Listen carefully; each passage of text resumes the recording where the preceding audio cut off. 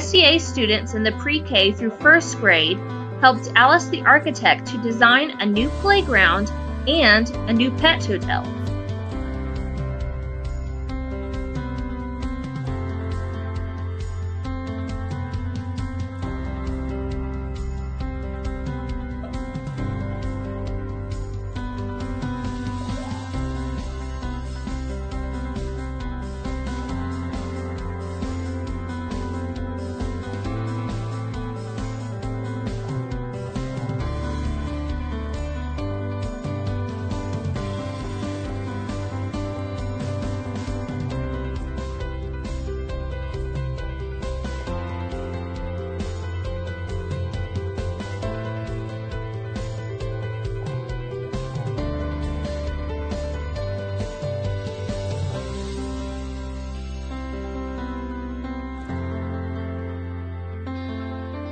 SCA's second through fifth graders found inspiration from nature, and they worked on their cool inventions of their own making. Let's see what they did.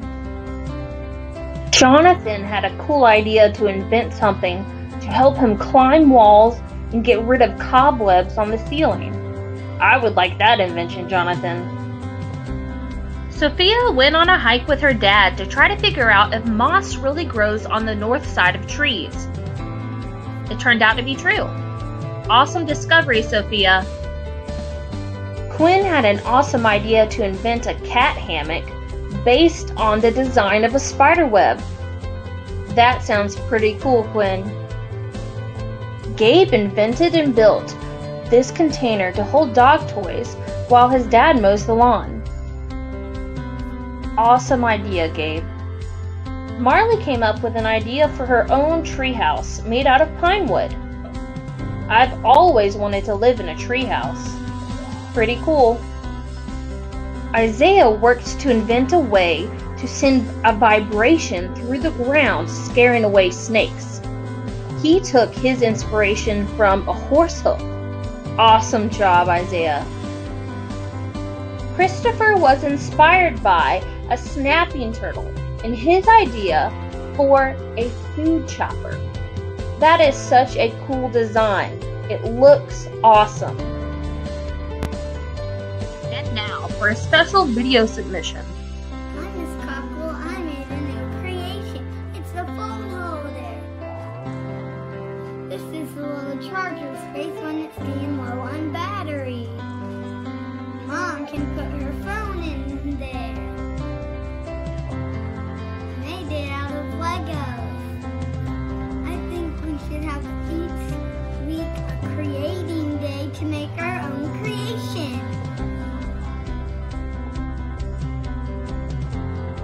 Great idea, Nathan.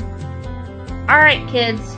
If you want to participate in Brainbox's Dare to Create challenge, then think of something you want to create. You can use any materials you have at your house, and then send me a picture or a video of your creations. Can't wait to see what you come up with.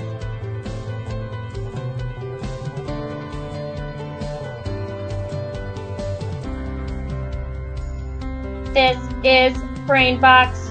Brainbox brain box.